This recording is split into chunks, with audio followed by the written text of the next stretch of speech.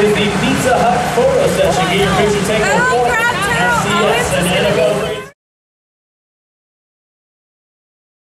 Uh, it's easy to get to.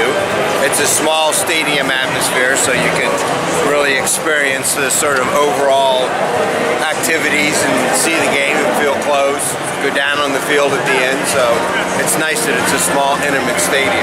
It's been great. A lot of camaraderie between uh, North Dakota and JMU, and uh, it's been fun. It's a good mix. Uh, transportation's been great. Uh, accommodations have been great. The outfit here is tremendous. I love it. I love it. It's uh, it's a good atmosphere. The stadium's getting nicer all the time, and uh, I think it'll be good. Uh, I mean, Frisco's a great host. We, uh, we're fortunate we have friends who live down here, but I mean, the game day environment, everything that's around here. Last night, the pep rally was awesome.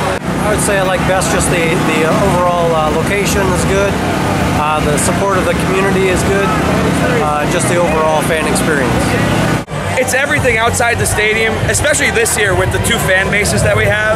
It's unbelievable. Everyone, no one's me. Eh, everyone's together. We're all here for the experience, the community for it all, and I think that's the best part of it, no matter the outcome.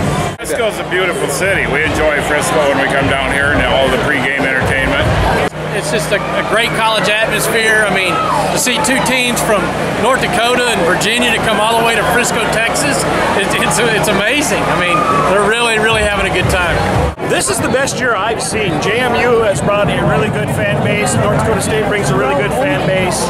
Uh, it's been great, both sides. And the city of Frisco has been very accommodating to us. They're very, very accommodating.